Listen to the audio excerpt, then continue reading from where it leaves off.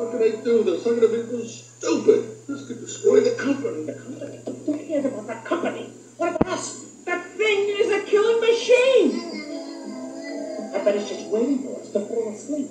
And then, BAM! Oh, we're easy prey, my friend. Easy prey We're sitting targets.